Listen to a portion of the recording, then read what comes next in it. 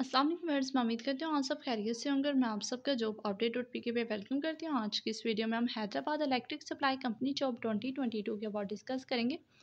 इसका क्राइटेरिया क्या है कौन कौन से डॉक्यूमेंट्स रिक्वायर्ड है, अप्लाई कैसे करना है, ये सब कुछ जानने के लिए वीडियो को एंड तक लास्ट में देखें। और अगर आप हमारे चैनल पर न्यू हैं तो लास्ट में सब्सक्राइब करें। अब हम चलते हैं हमारी वीडियो की जानब। सबसे पहले आपने गूगल या क्रोम जो भी आप यूज़ करते हैं, इस पर आप job update dot P K type करेंगे। जैसे ही आप job update dot P K search करते हैं आपके सामने हमारा मेन पेज ओपन हो जाएगा। यहाँ हमारे सोशल मीडिया ग्रुप लिंक दिए गए हैं। अगर आप में से कोई हमारे इन ग्रुप्स में शामिल होना चाहता है तो दिए गए लिंक पर क्लिक करके शामिल हो सकता है। गर्ल्स के लिए अलग ग्रुप बनाया गया है।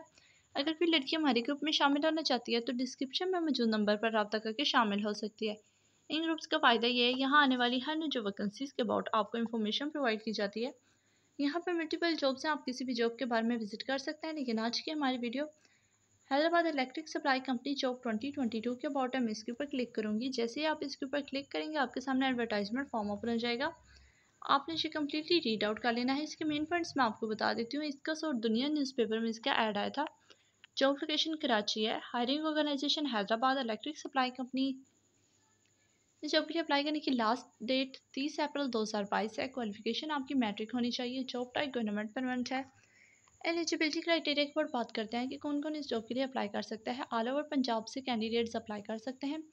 पोस्ट से रिलेटेड मेंशन की गई क्वालिफिकेशन या एक्सपीरियंस कैंडिडेट का मस्ट होना चाहिए। इस जॉब के लिए मेल फीमेल दोनों अप्लाई कर सकते हैं। आपके कौन कौन से डॉक्यूमेंट्स रिक्वायर्ड हैं?